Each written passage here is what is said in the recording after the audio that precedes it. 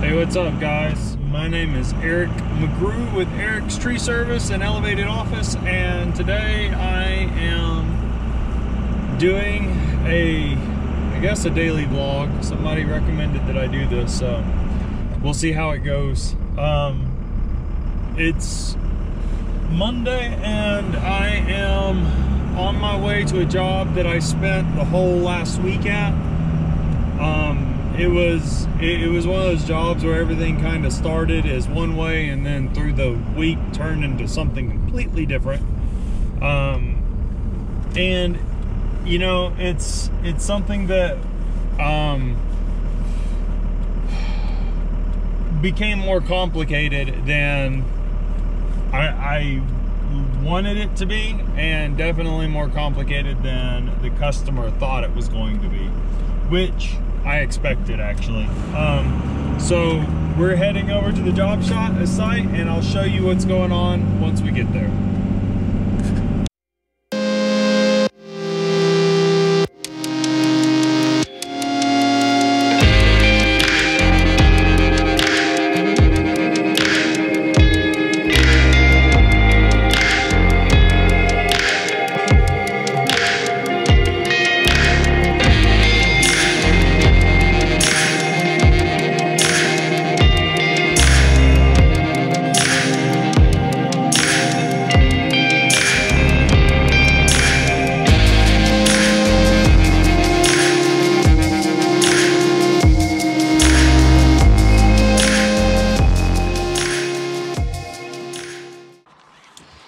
So still climbing on my Nick um, Tri Tech lanyard because I don't have my other one, but that's just a backup positioning lanyard.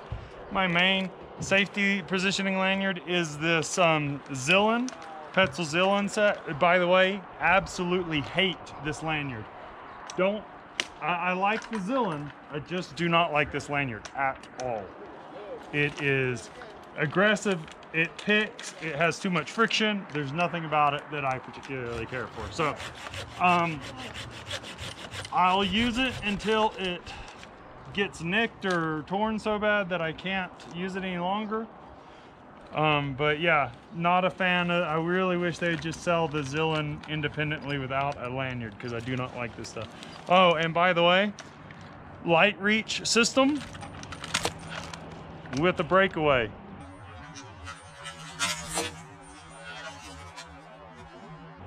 Love this. So if it gets caught in a tree, it's not gonna come back and hit me. And I'll show you guys a little bit more about that in the, the future. I can move anywhere in the tree with my lanyard on my handsaw, no problem.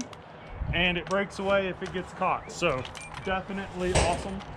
Um, fixes a lot of the problems everybody was worried about. Also, something to think about, are you climbing with a pole saw? If you're not, you're wasting effort and energy and time.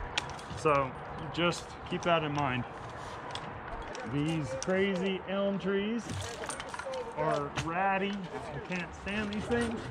They absorb tons of water and they, uh, yeah, just less than ideal trees in my opinion.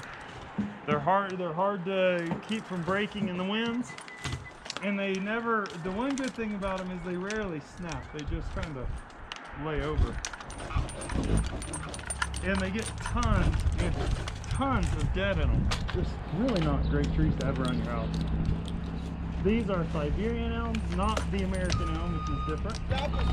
I'm just doing a, a thinning prune on this one and trying to clearance it off their house a little bit.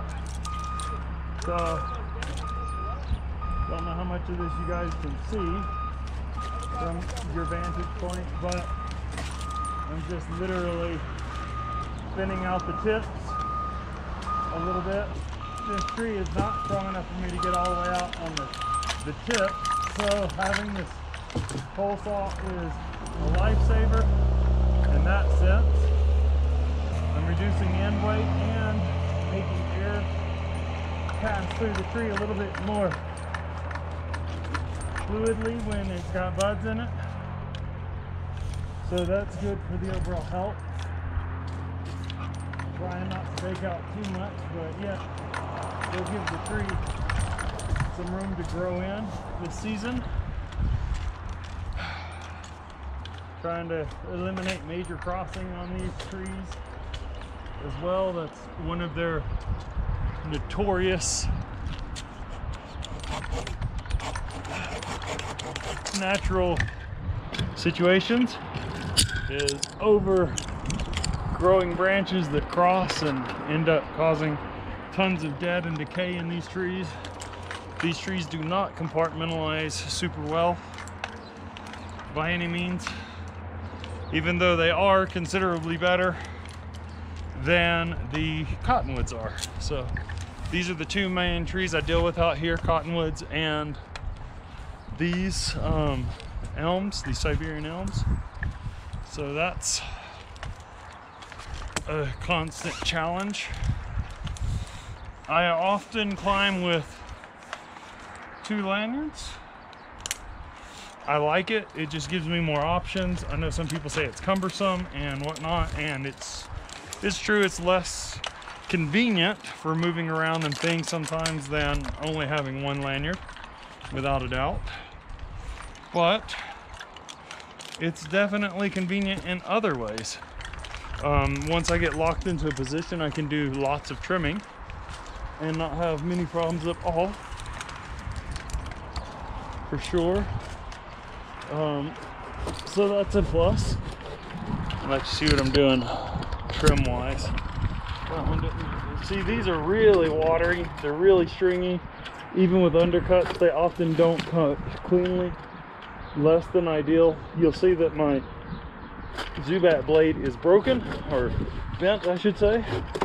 It fell from like 30 or 40 feet up and bent it, but it still functions, so I'm not replacing it yet because, well, they're not super cheap. See, once again, look, I got my lanyard on and I am crossing over in front of you guys to cut that branch out. And it's not coming undone. It, it doesn't come undone easily by any means, but it does come undone in a pinch when it gets pulled, snagged real hard or something like that. So that's cool. Really, really like this setup. I actually like it a lot better than I even thought I would. One big thing to keep in mind that I think a lot of people forget, and even I forget at times, is really try to plan out your direction of your lanyard. Sometimes I throw it the easiest direction uh, uh, to throw it, and what happens is it gets crossed, and it makes it hard as I work positioning lanyard to to get to pull as I need it to pull myself over or whatever it might be. So I really recommend pre-thinking the direction of your lanyard before you just toss it over there for the easiest toss because it could come back to to bite you a little bit in the in the long run. So you aren't nearly this bad when they're dry, but wet, man, they're a pain.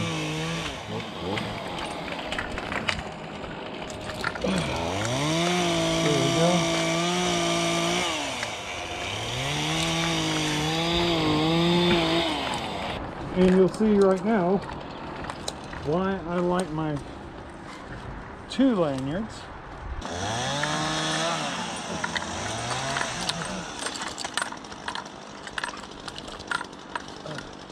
You can waste lots of energy fighting your rope, so don't forget to give yourself the slack you need.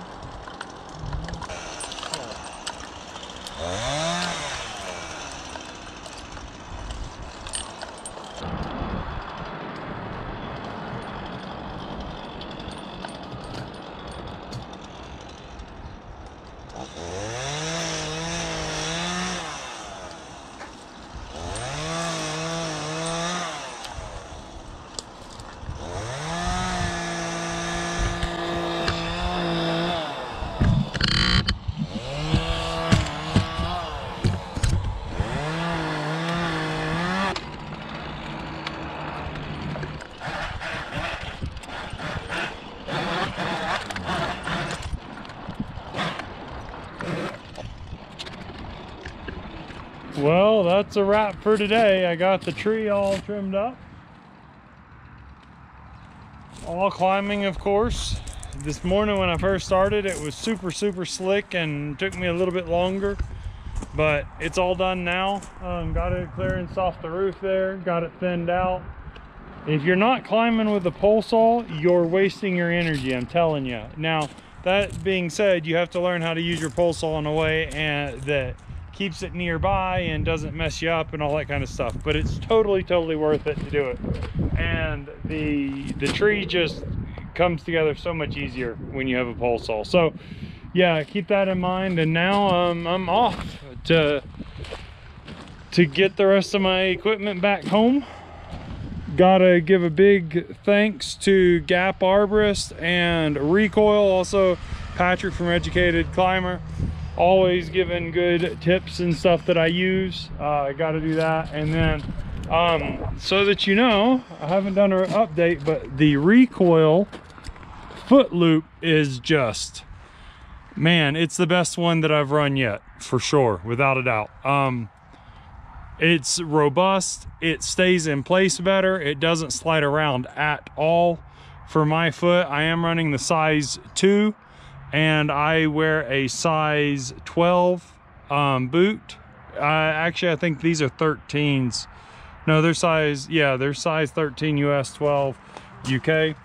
Um, these are ARB Pro boots. I'll get into that. I've been promising I'll do that, and I will. I'll get into that later. So, yeah, but the Reecoil foot loop for SRT climbing, or even double rope, but or moving rope, or whatever you want to call it um, definitely definitely worth it. You can't buy it yet in any online stores in the US but you can buy it from Australia direct um, through reecoil.com um, go check them out. Dan is great to work with and has great products. I'm also running his lanyards the full reach and the big boss which are tucked away in my bag so I can't show you those right now but it's just yeah stellar. So that's it guys. Um took down that big cottonwood over there and another big elm over there.